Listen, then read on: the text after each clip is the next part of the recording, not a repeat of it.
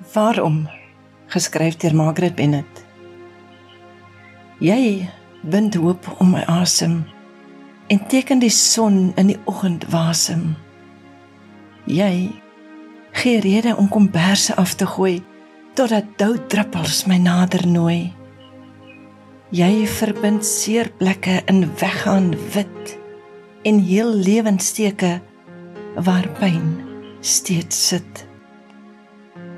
Jy vul dapper my skoene met moed, glimlag oor my veters soms so vuil van roet. Jy laai my drome op 'n koets se rug en vlerk veer die wiele se pad heen en terug. Jy bukke laag as ek val in die aftel van tyd en offer jou trane as myne steeds byt.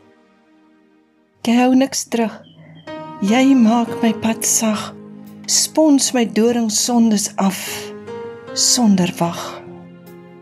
Jy's lief vir my, net soos my stukkies lê en bou 'n prentjie wat net liefde sê.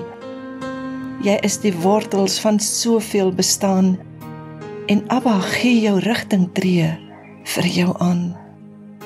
Daarom gelees deur Margaret Bennett